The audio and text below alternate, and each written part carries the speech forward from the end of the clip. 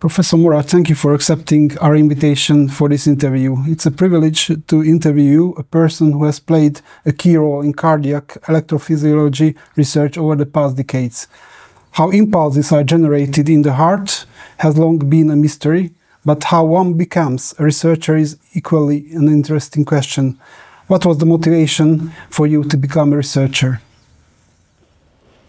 Uh, I like secrets and I wanted to discover what was the secrets of how the heart works.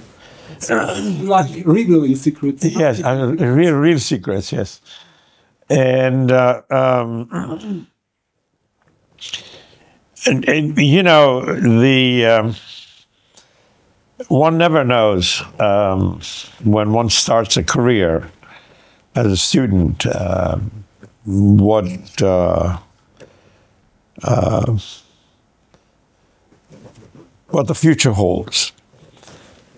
So all you can do is um, uh, do your best and search for truth. And science is the only um, truth I know that really you can look for truth uh, not some kind of made up stuff by the uh, uh, public or made up by popular press or made up by political um, expediency. So um, I was fascinated by scientific truth. And um, that's how I started. One of the reasons why, uh, for my previous question, uh, was that your career is not a typical one. Did you find it difficult to work in so many different cultural environments? No. Um, uh, I was, uh, you know, when people ask me where am I from, I say I'm from an, an international person. Uh, I identify with the Europeans. I identify with the Americans. I don't identify that much anymore from where I was born, but I am still very proud Persian. So, uh, but above all, I'm a human being, and I recognize that the humanity is one common aspect of all nations. And we have a lot in common. And uh, very little to separate us except uh, our own really prejudices. What were some of the skills that you were able to take from your colleagues of different nationalities as a researcher and utilize in your own work? That's a difficult question. Um,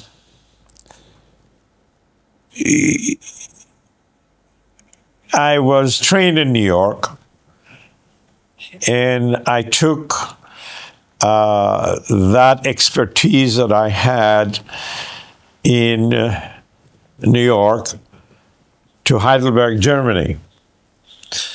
And um, although I had advice from my mentors and my professors there, uh, I, I, kept that dominant effect, what I had learned in New York, and added to it what I had in Germany. Then I took the German American stuff and took it to Los Angeles and applied it there as an independent investigator there.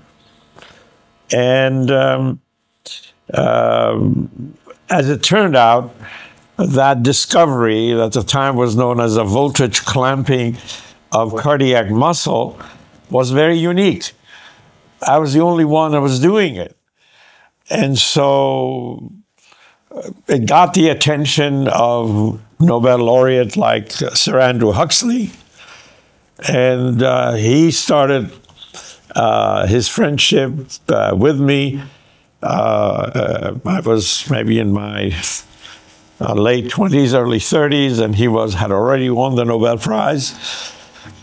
So I was very honored by this, and um, he encouraged me to continue what I was doing, which was very different than, than anybody else. So, uh, you know, that's how it started. Based on your previous answer, it's clear that uh, different supervisors had major influence on your career. Yes. Who were the key persons in this? Yeah, I think um, if I look back to my career as a scientist, um, I think that uh, Sir Andrew Huxley was um, the most influential because he encouraged me to carry out what I was doing with respect to the evolution of what we called then excitation contraction coupling. I had these observations that suggested that even signaling pathways that are very critical for function of the heart, uh, they had an evolutionary path. And um, so I think he got very excited because his grandfather, Sir uh, Thomas Huxley, who was the president of the Royal Society and was known as a Darwin's dog, right? He went around uh, essentially preaching evolution. Um, so he was very excited by this idea that I had data, I had evidence that um, one of the most significant uh, pathways in cardiac contraction and, and function of the heart goes had an evolutionary path. Um, so what I discovered, I was working on a frog heart. It had totally different um, regulation than uh, the cat heart or the dog heart or a human heart. And what was very strange is if I looked at uh, neonatal or you know prenatal human heart, it acted like the frog heart, not like a human heart. So it had an evolutionary path. And I think, you know, he encouraged me, you know, at that time, uh, you know, I was 27, 28, and um, just starting my career in science, uh, and, you know, struggling. And so um, nobody was interested in that idea, right? Uh, so, but Sir Andrew was interested. And he decided that, you know, he would want to spend some time with me. He would come to Philadelphia and be my guest and stay at my home. And so we became friends, even though he was uh, the, the great man of science. And uh, so that had tremendous, it gave me personal confidence right? I didn't care what the other guys thought, right? The su supporting environment. Yes, yes, he was he was tremendous.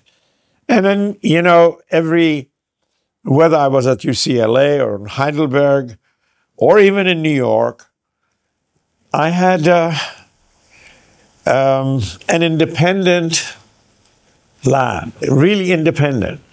I didn't really have classical mentors, but uh, there were scientists, uh, Bob Furchgott, who also won the Nobel Prize for nitric oxide, happened to be the chairman of pharmacology in New York, um, that uh, would work very late. And then, since I was working at 10 or 11 o'clock at night, he would stop by and talk to me for an hour or two before he went home. And so they had, uh, this really gave me confidence in myself, in my own idea. And I've been like that uh, since then. And then when I had my own lab and my own professorship, uh, my students had tremendous uh, influence on me, right? Because I picked students that were smarter than me. I, I really believe in this that you, as a scientist, if you want to be successful, you pick students that are smarter than you because then what you teach them, they can really do things with it. And all of my students that I trained, I've trained some 100 students. Um, some 11 or 12 of them have become big professors, much more famous and much more successful than I have been. You know, members of National Academy and, you know, chairs of cardiology and physiology. So that formula worked for me. And what, what is your opinion about the early mentoring? What happens here at the National Academy of Scientist Education? Is it useful? I think so. I, I am very encouraged by this. Uh, I, I, really, uh, I am impressed by the students I met and the whole training they're having so early in their career. Uh, I, uh, I don't know whether you heard my talk. I said one thing I did learn is to go back and come back to be in that uh, school trained that I wasn't trained like that. I was, you know, more into politics, history, and all that stuff. I had very little scientific background. And if I had that scientific background these kids had, I would have done a great deal of things. So eh, the future looks good, right? They are lucky. They're very lucky. Yeah. They're very, very lucky. And they don't know how lucky they are.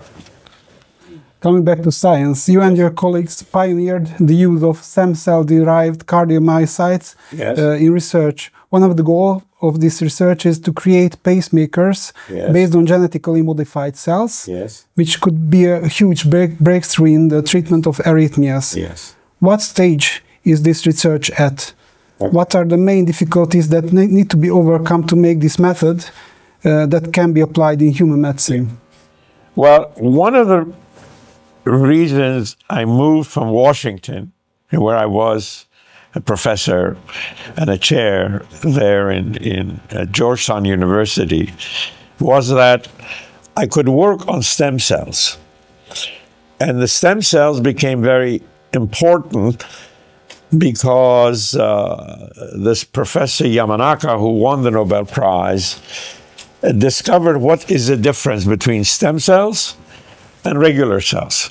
And it turned out there were four genes that were different.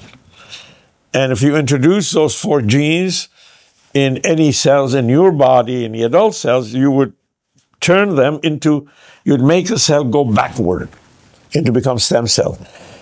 That's when the light hit me.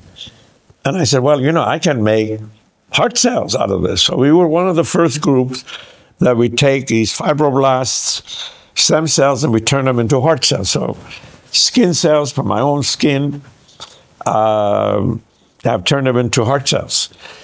Now, then, you know, people were trying to put stem cells in the heart and to uh, to regenerate the heart that was damaged and all this stuff. And none of that worked, really. It worked because we don't know enough about stem cells, about cardiac myocytes that are coming out of stem cells. So I thought an easier path is to make a pacemaker. A pacemaker is really idiotically simple concept. It's an oscillator, an electrical oscillator. So you don't really have to have a functional cell. You don't have to have a system where the, it has to work, the heart has to work, has to beat. You know. No, it just has to generate an electrical signal. So um, we generated these heart cells from stem cells and then uh, we introduce in them the genes that are in our own sinoatrial node, that's our own pacemaker. And so they worked very well. So now we are at the stage where we need to put these stem cells or these SA nodes or these sinoatrial nodal cells that pace into animals. Now, that is a, a major issue, right? Because you have to make sure that these cells uh, a month later don't die. Mm-hmm. Uh, you have to make sure that they will survive. Of course, because we take the skin cell from the patient in which we're going to put them in, they will not be rejected. But you want to be sure that they don't get modified. And now, my concept is that if we put a such an embryonic, such a uh, young pacemaker in the heart, that heart is going to rejuvenate by itself. Because, you know, a lot of the diseases that you think are uh, brain diseases or other cardiovascular diseases, they're really because the heart isn't working the way it works in that young man or that young lady in their 20s and 30s, and instead of working in a 70, 80 year old man, right? So, if you can rejuvenate the heart by having the pacemaker being a real pacer instead of some electronic system that you zap the heart with electrically every five seconds or 10 seconds or a minute, then you actually may rejuvenate the whole body.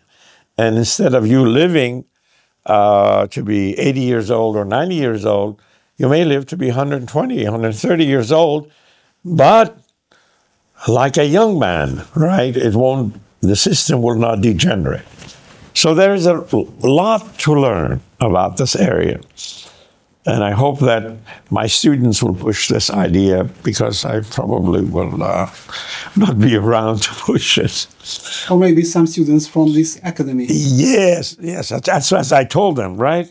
As I told them, uh, the theories we have are interesting.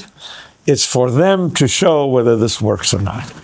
Thank you. It was an honor to speak with you. Thank you. I'm happy to to welcome you in Hungary, and I hope that you will return very soon. Thank I hope so too. Thank you so much.